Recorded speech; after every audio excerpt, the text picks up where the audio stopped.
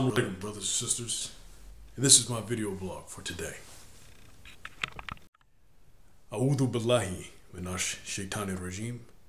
Bismillahir rahmanir rahim. Brothers and sisters, I'd like to take a moment and reply to one of the YouTubers on YouTube by the name was a young Muslim sister named her screen name is Anna Muslima 2009. Ana Muslima 2009 had put a blog on. She's a really young sister. She seems like she just got out of high school. And the situation was is she was approached by Muslim brothers on the street who she felt that they were trying to holler, basically, you know. Um, I don't know the context of the situation, but I thought it would be good for me to break open some adab in approaching Muslim sisters. Well, in her story, she said something about the brother pulling over a taxi cab and, uh, you know, hollering at her like, you know, sister, you know, how you doing? You know, I'm gonna give you my information and you know, talk. You know, he was real trying to be smooth, like he was hollering to her. I don't know what the context was, but I'll go ahead and just lay in a little information if I can. Brothers, you don't want to do things like this. And I'll give you a reason why. In a few of my blogs, you know, I talked about being an example. And Umar ibn Khattab, radiallahu an, said every action is by an intention. Or the, the intention precedes the action, is a better way of expressing it. So if you have the intention in your mind to do something that may lead to a negative action, it will show in the way that you do things. Very simple. So if you have a lustful look at a woman, like her or whatever it may be, and you want to approach that woman, that is going to come out of your heart. But if you have an intention truly to greet your sister and to respect your sister, then that will come out in your approach. And sisters are more emotional creatures. They don't like it when we say that. Some are more some emotional, some are not emotional. There are some sisters that I will admit that are not very emotional. But I will say that they are keen to the approaches and the advances of men, just like we are when it comes to women. So you want to make sure that your adab is clean. Take it from me, brothers. Anybody needs to let you know I have a story. I'm a brother who's been single for six years and looking for a wife. You're right. There's brothers out there that need to get married. That is a problem that we're dealing with in the Ummah. There are a lot of situations where people are not finding wives and they need wives. They need wives right away. Right away. You know, immediately. but unfortunately, there's no network that brothers can operate that are that would give a excellent turnover rate and giving brothers marriage unions as well as sisters marriage unions. We don't have an organization that is nationwide that really works to get brothers and sisters married. But it's no excuse. We still have to do better. When you see your Muslim sister on the street, let me break it down how it works. Number one, you give her salams.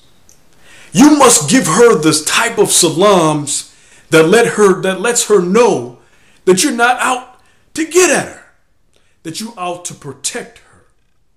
So your salam alaikum should be right on the money. Assalamu alaikum wa rahmatullahi wa barakatuh, sister. Stop right there. Number one, you don't know if the sister's married. Number two, you don't know her wali. Number three, you don't know whether or not she feels comfortable with your advancement past the assalamu alaikum. But in my security video, I would like to invite people to watch that and understand that you must keep still an awareness. When you greet your sister, you keep an awareness to know where she's at because she may need you. The fact that you give her salams lets her know that you're on her side and lets her know that she can come to you for protection because you may not be representing Islam with a long beard or a kufi. Your greeting of assalamu alaikum means if something breaks out in this mall, sister, I got your back. If something breaks out on this street, sister, a riot, I got your back. And at that point, you leave it alone. See, we as Muslim brothers don't speak game. I'm going to say that again for a lot of people that didn't understand what I meant. We as Muslim brothers don't speak game.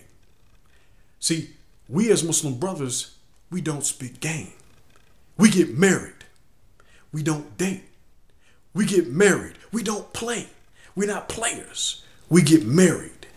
We get married and we take our soldiers on as a responsibility that's divinely given to us by Allah subhanahu wa ta'ala. We use that responsibility and we treat our women with respect. Every sister we look at as our sister. Every sister we look at as our mothers. Because we must understand that there is a wali. For if he knew what you was doing to the sister, if it was disrespectful, he'd probably have more than a few words for you. He might want to knuckle up with you. So, brothers, I want to warn you to be careful.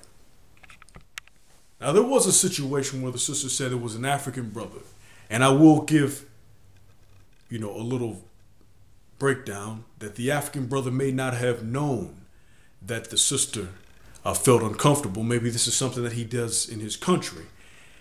I'd like to comment on that for a moment and say that this is how Islam has evolved from the early 70s.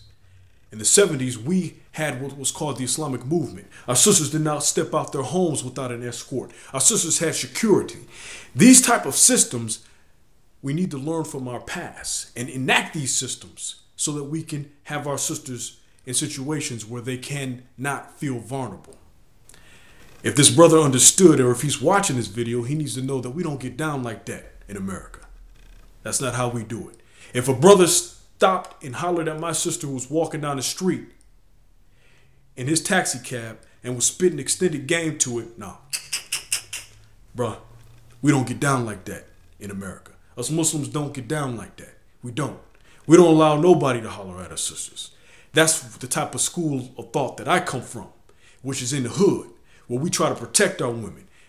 The other situations, Allahu a'lam.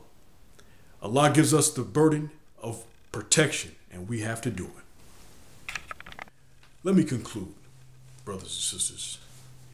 As this, I have uh, five sisters, so this hits me right at the core of the heart. And you know, there have been situations where I haven't been able to protect my younger sisters, my own younger blood sisters.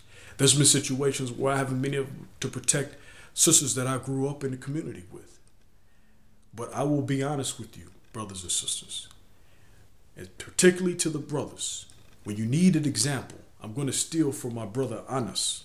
He has a phrase that says, be like Muhammad. Be like the Prophet Muhammad wasallam when you approach your Muslim sister in need.